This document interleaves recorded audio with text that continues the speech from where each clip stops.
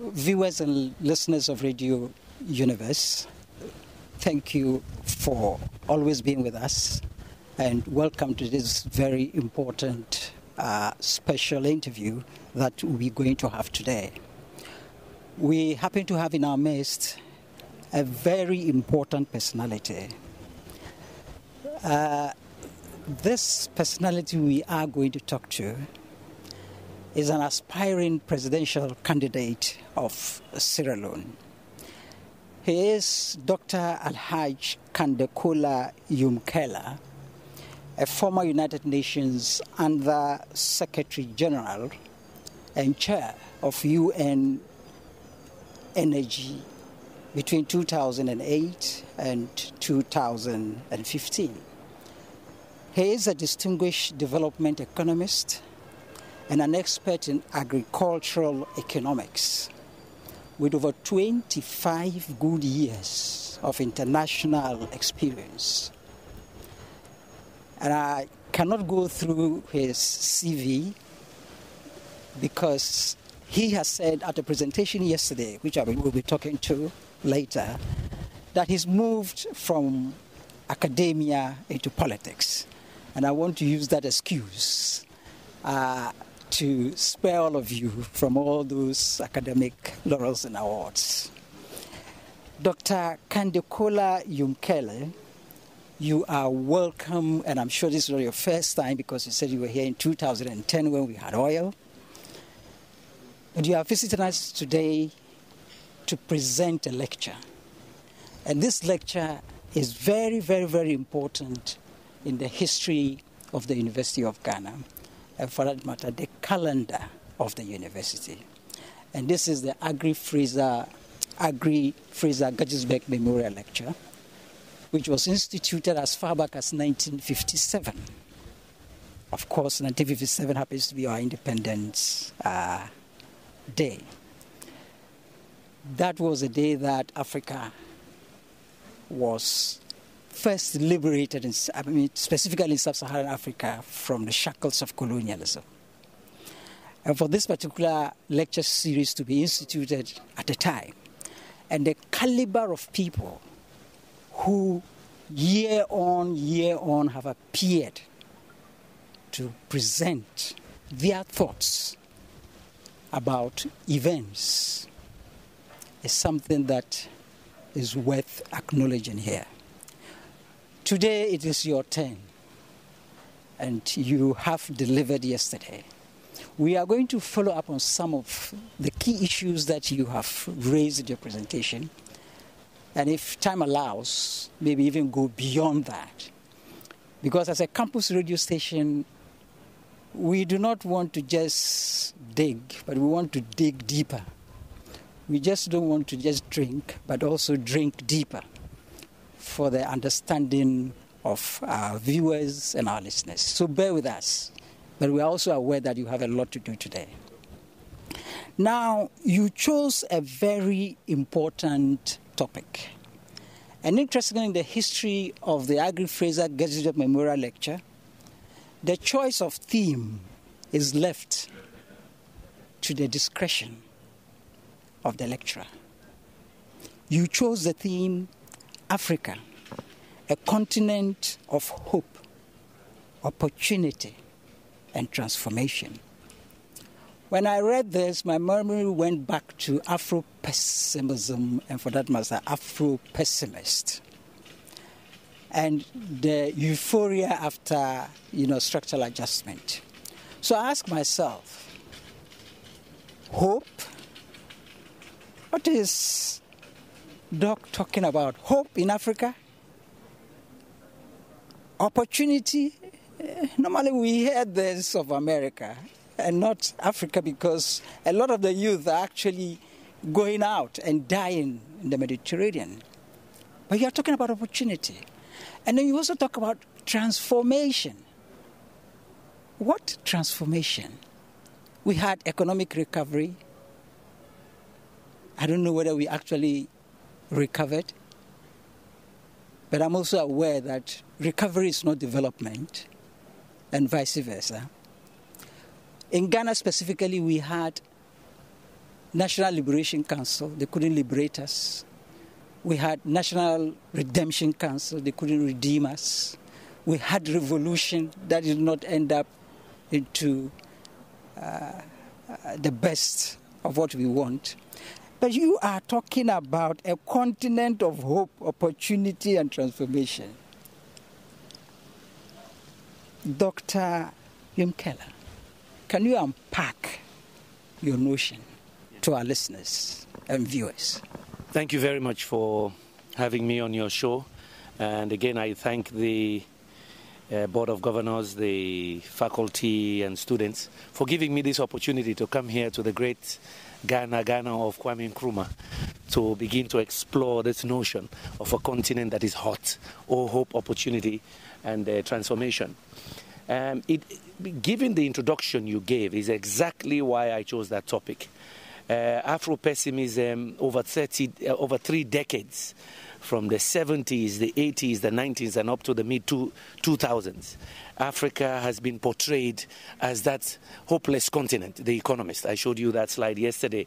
The Economist said, hopeless continent. They, they had headlines, front page with HIV AIDS, and it was all conflict and disaster, what I call the three Ds disease, death, and disaster. Uh, uh, or the other way around death, I mean, disease, disasters, and death of Africa. And I don't want our children and grandchildren to believe we're that hopeless. When others are investing in our continent and they see riches, I, we, the old generation, we, yes, we've gone through the periods of the Liberation Council, the Redemption Council, and nothing happened. I want our children not to believe that. I want our children to believe in an Africa that I believe in, which is the Africa where, in fact, we have seen foreign direct investment go from 15 billion back in around 2000, 2003 to about 87 billion by 2007. People have been investing in Africa to get a piece of our real estate. Why? Because this continent sits on most of the minerals that the rest of the world needs to grow. We see problems, others see opportunity, and they come in to grab. And yet we sit as if we're hopeless. Second, I want our children to liberate their minds to liberate their minds from this receivership mentality, aid dependent mentality that somebody else has to come to Africa to solve our problems. That's not what I see in Asia. I've spent 20, over 20 years now in the development field. The last 20 years going to Asia. When I go to Asia, I don't see a depressed Asia. I don't see Asians waiting for somebody to come, give them aid to solve their problem. No way. I see Asians thinking competitiveness, technology transfer, trade, and they're, they're ready to be creative to compete. We are not the only ones who had conflict. Cambodia had conflict. Vietnam had conflict. In fact, in the 60s and, late, and, and mid 70s, they were referring to Cambodia, Vietnam, Laos, and others as basket cases. They recovered, they transformed, and today, yes, they're self sufficient in food production. They're major industrial hubs for producing goods and services which are bought by uh, uh, OECD, rich OECD countries. What am I saying? None of us are destined to be poor.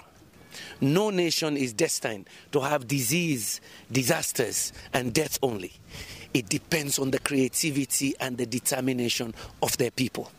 And for us, the difference between us and many Asian countries is that God gave us everything. And you heard me talk about the Garden of Eden syndrome. And that is not from me, that's from Ali Mazrui back in 81. Because somehow, because God gave us everything, Every season something grows. And the minerals are everywhere. My country, they just discovered the, one of the largest pieces of diamond ever in the world 706 carats. They just discovered it last week. God gave us everything. So somehow it seems our creativity died. Somehow it seems we are not as aggressive and ambitious as we're supposed to be. I want us, I want our children, since we may have failed them with all these isms you mentioned, yeah? I want our children to believe that they can be a Bill Gates. I want them to believe that with all this God given wealth, oil and gas, bauxite, iron ore, titanium, you name it, that in fact they can capture this 21st century. They're good as anybody. If I can leave poor Sierra Leone, that has been ranked at the bottom of the heap for almost three decades, we're amongst the five poorest The, back in 2008, we were the poorest of the poor, the lowest human development index. If I can defy that, and go to such a level globally, it means any kid can do it. And I don't want anybody making our kids depressed, less creative. That's why I chose that topic. And Ghana, in particular, is a good choice because you have led the way in many things. Your vision, in fact, of Kwame Nkrumah was 50 years before he's, you know, ahead of time. But Ghana is in a position today uh, with your newfound wealth of oil and gas and your strong agricultural base to say, fine, we show the rest of Africa what it means to be successful. Uh, that is very interesting. Frankly speaking, you've just mentioned oil. Uh, I was going to ask a different question, but I'll just touch it briefly and then we go back. In 2010, you were here. And that was the time that we started, you know, this whole uh, prospecting for oil and getting oil. And listening to you yesterday, you said whilst on your way back, you wrote an article. And you were virtually reflecting over this, you know, Dutch disease, whether oil could be a curse or indeed it is a curse. From 2010, today you are here. What reflections do you have? Well, let me put it in context. I had the privilege then. Uh, Kofi Annan had invited me, Excellency Kofi Annan, Turner, the billionaire founder of CNN, and I was here with Andrew Young, one of the civil rights uh, liberators in, uh, in, in America. And yes, we visited Takoradi and I could see the oil rigs. But then we visited Elmina Palace, uh Castle, that used to be almost the capital of slave trade. And what dawned on me as I was coming back on the plane, I started this article defying the Garden of Eden syndrome, which was published around the world a few months later. Two things struck me. I say, here I am in Elmina Castle, when Africans were exporting their young in, between the age of 15 and, and 35 to the new world to give them energy to transform, to industrialize at that time. I say now they discover oil and gas around the same location you are in Elmina Castle, you can see the bay, right? I say, now we have oil and gas in Ghana. Will we do the same thing? Export oil and gas to light up the rest of the world and we remain in darkness? Yeah. Will we use oil and gas the same way we've done cocoa and coffee? You pick from the tree, Garden of Eden, you dry it and you export. You don't add value. I say, now, can Ghana learn from other countries like Malaysia to say, fine, and both of you got independence at the same time. Now we have oil and gas. We immediately take a decision that we Ghanaians will begin to make plastics from our oil and gas. We immediately take the decision that we Ghanaians will now produce fertilizer to power our agriculture because we're already one of the top agriculture producers of Africa, to make us even better agriculture producers, to use more fertilizer. And at the same time, with this new income, we diversify and drive industrialization for our children. You're over 20 million now. Yeah? That population, 26 million. I think by projections, you might be 35, 40 million in another 30 years because we're having children like there's no tomorrow. You understand what I mean? That is what occurred to me. Can Ghana learn from the mistakes of Nigeria, but also learn from the successes of Malaysia? Yeah? To be able to transform now to say, fine, God gave us oil and gas at the time that we are really now independent. There's no colonialism to blame. That we use this resource to propel our economy, and it is not unique. The Norwegians did it. The Malaysians, Petronas was a small player. Petronas, when they discovered gas in Malaysia, they didn't kill agriculture. They used the money to become number one in oil palm. And some of that germplasm they got from Ghana. Yeah? They used oil and gas to drive what they call agriculture led industrialization. From there, they moved into other sectors to industrialize, to push again IT development. Can Ghana learn from a country where when they had independence around the same time, they have more than quadrupled their economy, but for most of the three decades of Ghana, from the 70s to about the late 90s, the economy was shrinking or less or, or performing less. Meanwhile, Ma- Malaysia was growing in bounds.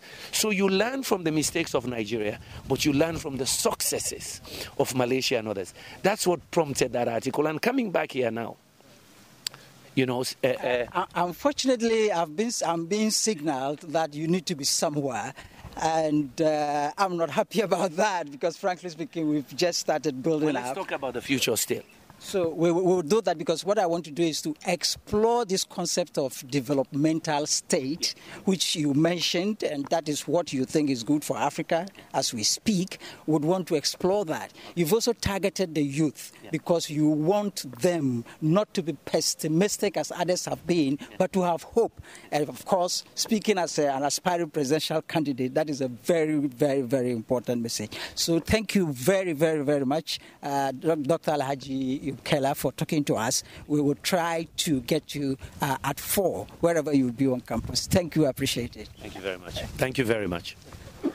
Well, viewers, as well as our listeners, I'm sure you've heard Dr. Al Alhaji Yumkella. I told you, he's a man of so many hearts. He's a man of experience in development economics as well as an expert in agriculture economics. Please, please, he's giving us hope. He thinks that Africa is not a waste basket. Africa is the Garden of Eden. Let's make the best out of that garden. Let's not create the garden for people to benefit from the fruits of the garden whilst we sit hungry and complaining. The development of this nation is in our hands.